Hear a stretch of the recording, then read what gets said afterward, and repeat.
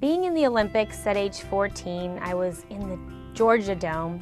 There were 33,000 people in the stands chanting for USA only. I got chills down my body when I would walk into the arena and hear that. It was such a momentous moment, and I was being part of Olympic history. I knew that no U.S. women's team had ever won Olympic gold, and in 1996, our team was the first who really, really had a shot at doing it. And I could feel the magnitude in the arena of, of, the pressure, but also the magnitude of the spectacle of the Olympics.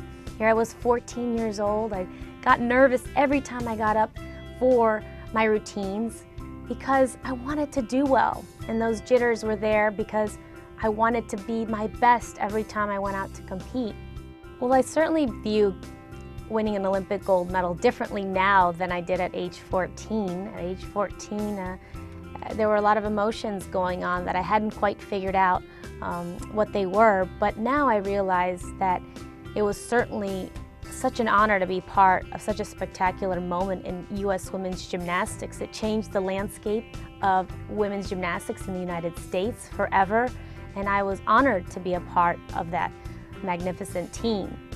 Of course, at the time, I was going through some of my own personal challenges, and I realized later in life that my self-worth was not defined by the color hanging around my neck, and it took me many years to find that out.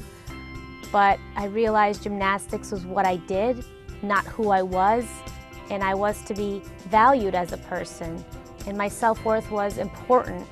Um, and I realize that now, and I'm proud of that moment because I'm able to look back at it and realize that the gold medal represented my parents' hard work. It represented my hard work, my parents' dream for a better life in America. And I'm really proud of it. And I can share it with my kids now and uh, teach them the true meaning of, of what it's all about to win a gold medal.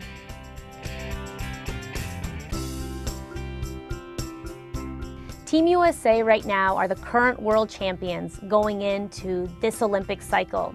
I think they have a tremendous shot at winning Olympic gold. It's been 16 years since the first and only women's gymnastics team has won a gold medal in the team competitions. So this is going to be very exciting to see how everything unfolds at the Olympic Games this summer.